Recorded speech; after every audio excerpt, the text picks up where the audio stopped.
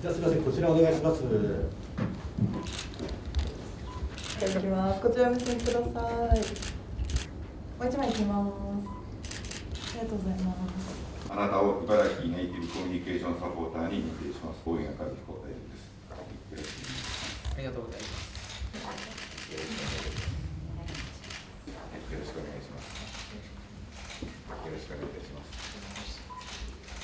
日本人は毎年減っているにかかわらず、え外国人の方は毎年約3200人増えているという状況になります。このサポーターにならなくてもやっていただいている活動ですのでそれを引き続きやっていただくという形になるかと思いますでその他に、えこれからの外国人の方とつながっていただいた時に意見ですとか要望があった時に、まあ、伝達あの私たち県の方にこういう意見要望がありましたよという話をしていただきたいと外国の方々とですね、一緒になって活躍できる、また安心して暮らせる、そういうふうなあ県にしていきたいというふうに思っております。